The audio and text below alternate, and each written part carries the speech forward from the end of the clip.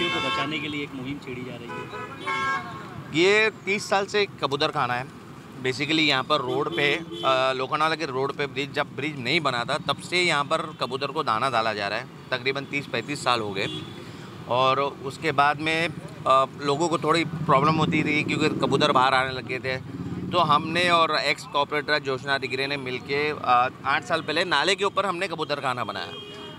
ताकि लोगों को प्रॉब्लम नहीं हो। नाले के ऊपर कबूतर खाना हो तो कबूतर अंदर थे और रोड पे भी प्रॉब्लम नहीं होता, किसी को प्रॉब्लम नहीं होता। तब ये रूनल बन रहा नहीं था। अब जब रूनल बन गया और रेडी हो गया, इनको कबूतर खाने से प्रॉब्लम होने लगी इनको गटर से प्रॉब्लम नहीं, इनको कबूतर खाने से प्रॉब्लम है। इन्होंने बीएमसी को बुला के कबूतर खाना तुड़वा दिया। अपना पैसा पावर अपना पॉलिटिक्स पावर दिखा के कबूतर खाना तुड़वा दिया। और ये बोलते हैं, यहाँ से कबूतर खाने को शिफ्ट करो। यहाँ से कबूतर खाना कैसे शिफ्ट करेंगे? कबूतर को कैसे इधर से शिफ्ट कर सकते हैं हम लोग? बताओ।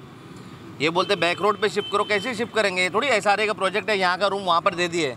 हमारे इंडिया का लॉ खुद बोलता है कि 10 साल से अगर ज़्यादा अगर तुम कोई जगह पे हो तो वो जगह तुम्हारे हकदार, तुम हकदार होते। ये तो 30 साल से ये जगह पे। ये बोल नहीं सकते तो इसका मतलब ये लड़ नहीं सकते? तो इसकी जगह पे हमने इसका लड़- इसके लिए हमने मुहिम छिड़ी है इस बारे में। सर आपका